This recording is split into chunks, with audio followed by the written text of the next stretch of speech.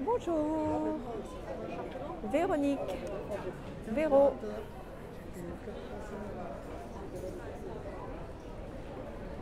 Walking around Bordeaux in the older part of town.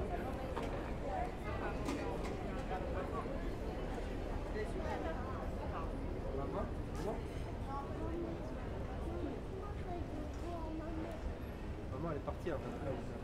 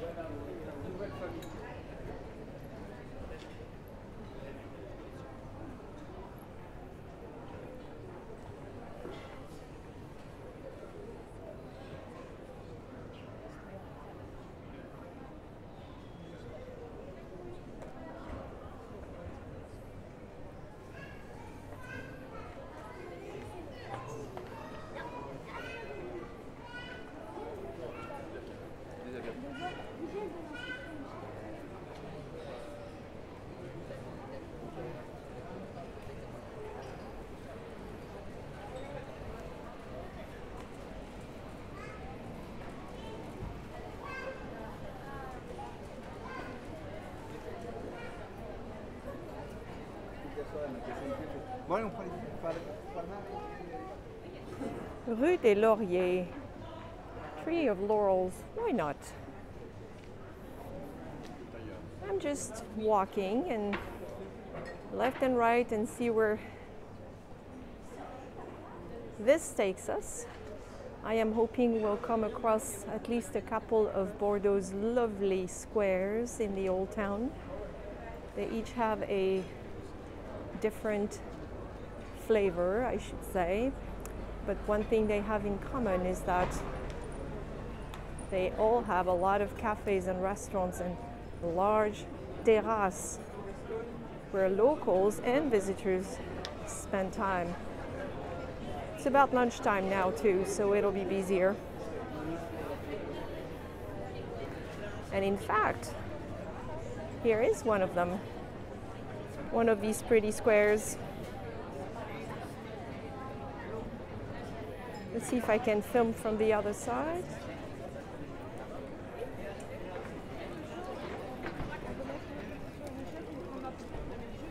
We are on la place du Parlement, Parliament Square.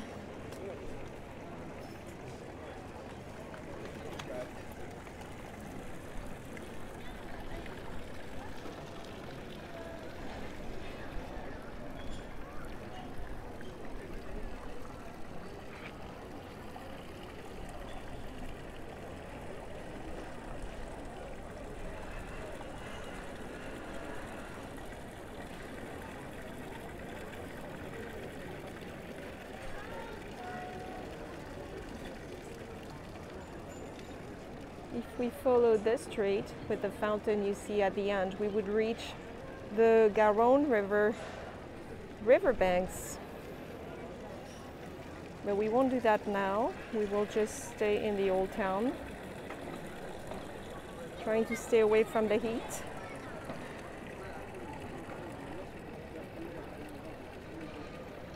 Let's see. I think we should go this way.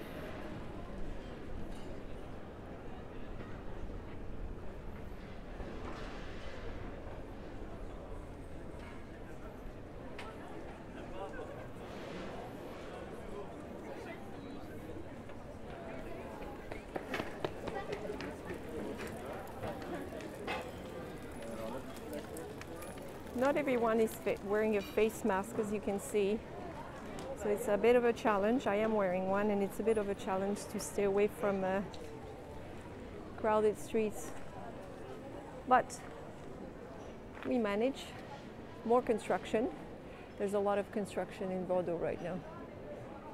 I've shown you these in a, another video, but these um, faces that you see above those windows, they're known as mascarons. M A S C A R O N S. I believe the same word is used in English.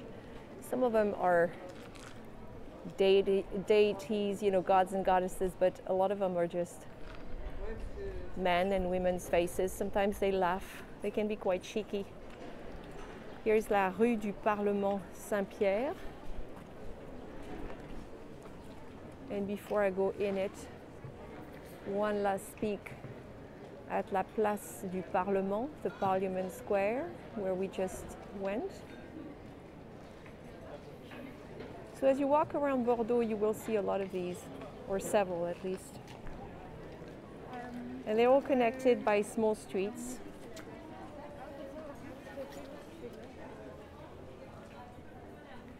And you know that Bordeaux is famous for its wine. So many cavists or wine merchants all over town. The trick for them is to find a niche and to separate themselves from the competition. This one is called Cousin and Company, and they uh, specialize in natural wines. They they do tours, expeditions. But right now it's difficult for them. Across the street is their bar and bistro, so typically there would be tables out where people can sample the wines. If you have just joined, my name is Véronique. My friends call me Véro. And I share my passion of uh, France, the passion for France uh, every day in social media, on Facebook and Instagram and on YouTube under France with Vero. And in August, I am traveling in Western France Earlier, I went to Brittany in July, the beautiful region of Brittany, reported from there, and then to the city of Nantes, and currently in Bordeaux and heading south after this. If everything works according to plan. Bordeaux is a very interesting city. It's a mixture of elegance. It rivals Paris in many neighborhoods, like a couple I will be showing you in other videos but it's also, I don't know, to me there's a southern flavor here. People sitting outside a lot, looking very tan, eating late.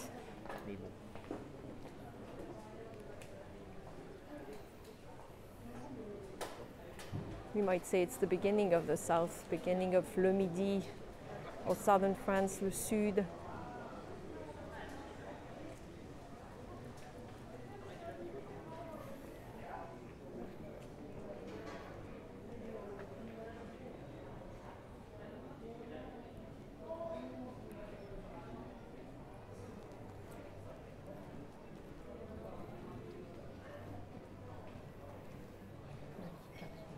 In the main shopping streets of the city, you see a lot of the big names, uh, chain stores.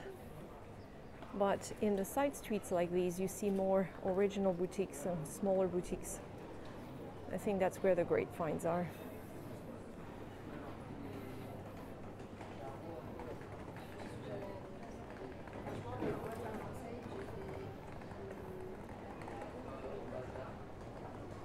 Here's another little square called La Place Saint-Pierre. I had lunch here the day I arrived in the shade of those uh.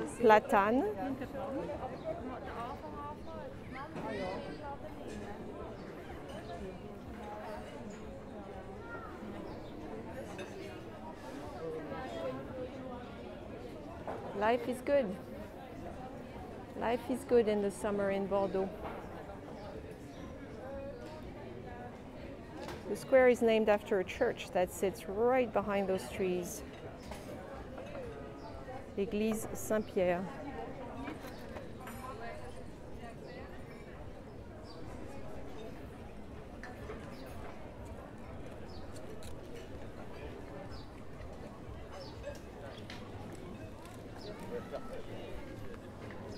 I will show it to you in a second.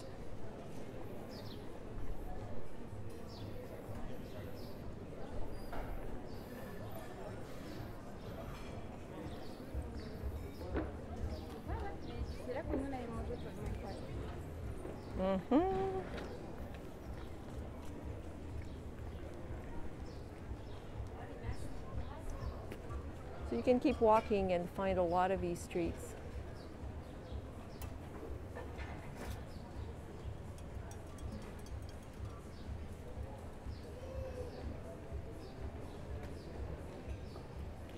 And here is l'église Saint-Pierre, Saint-Pierre Church, St. Peter's Church.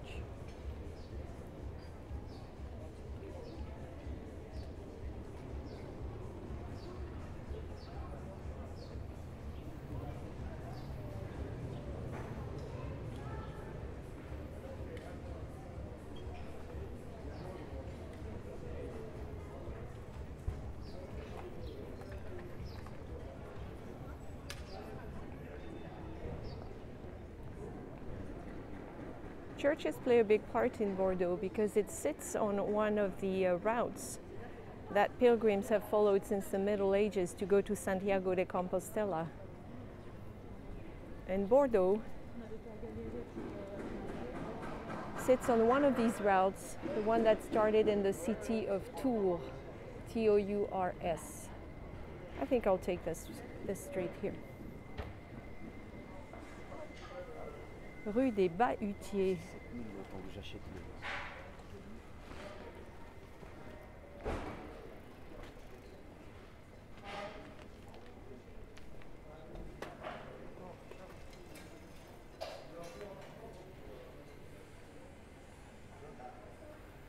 This is the name of our street for those of you who like to follow on Google Maps or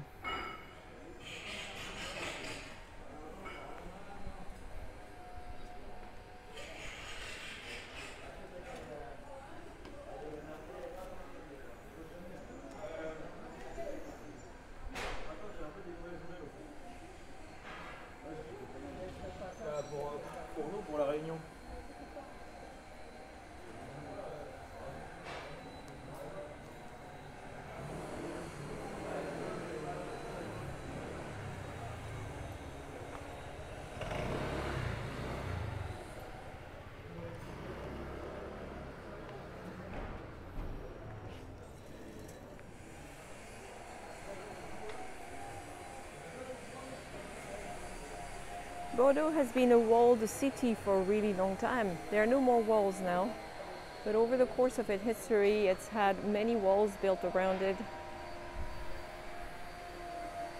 And the walls have impacted the layout of the town and what's been done there.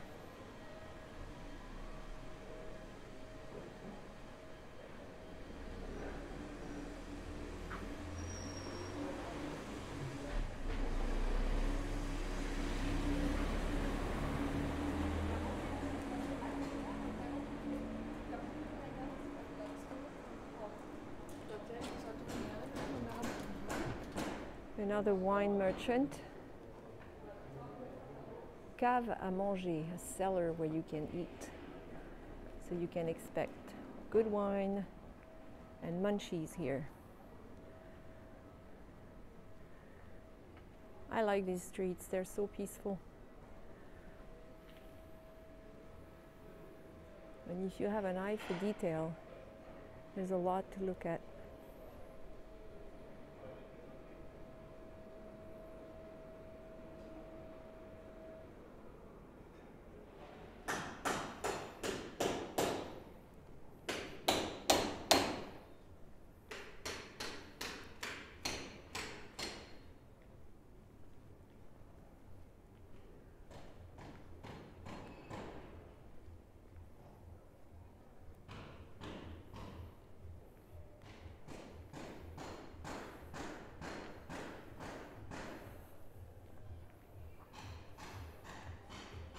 Madame à la plage, Madame at the beach.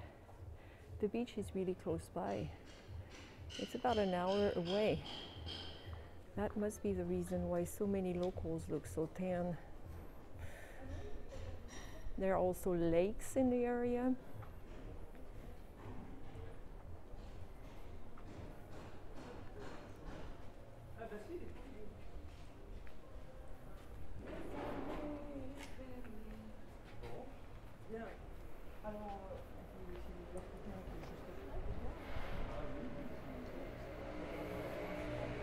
I hardly ever follow the same streets, so I'll just. Um, I've been here a few times before and in this city, and I like to keep experimenting. This was the Rue des Courcelles, Co- no, actually Rue Corcelles, pardon. Rue Corcelles. We're not in Paris anymore. Vero.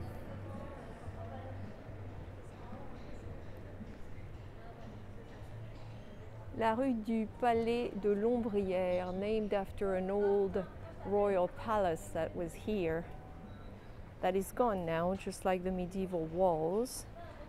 But we have one thing left from those times a beautiful gate. A, a de- a defensive gate at some point in time in the 15th century, and you can see the top of it in the distance. It's known as La Porte Cailhau, and this is also my favorite square in Bordeaux. The one I tend to come back to for a late afternoon drink or a quick lunch, for an apéro, apéritif.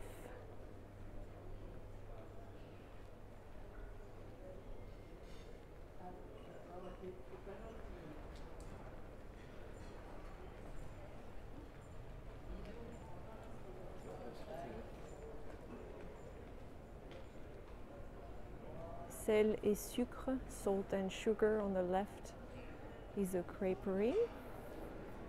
I've sampled I've sampled it before. It's pretty good.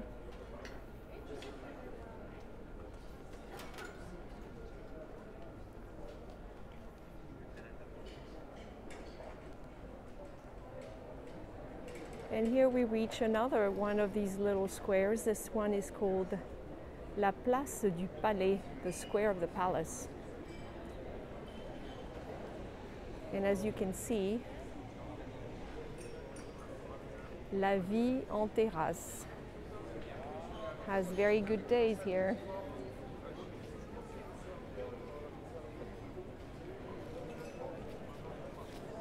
In the shadow of the trees, very important in the summer. Pardon. And here is La Porte Cailhau, this medieval gate that survived, that takes you on the other side to the Garonne River. It makes it's quite a sight.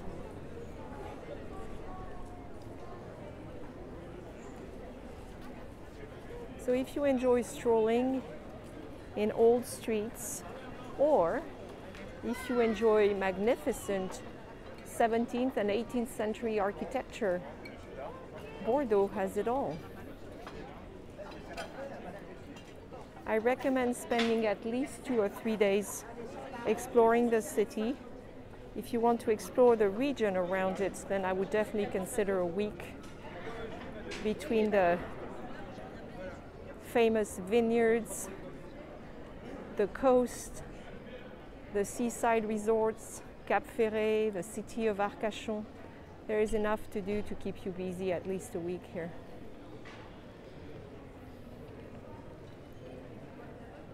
And it wouldn't be Bordeaux if we didn't have another wine store.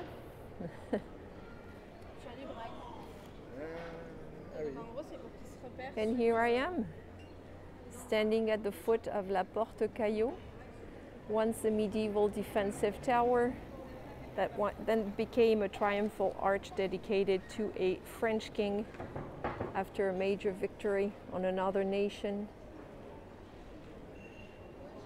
La Place du Palais, the square of the palace.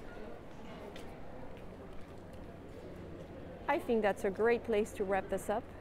Thank you for following me on this walk. I will put all information about where you can find me and my videos, pictorial travel logs, stories in the video notes.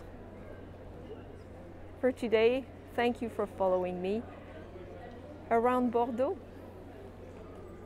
À bientôt!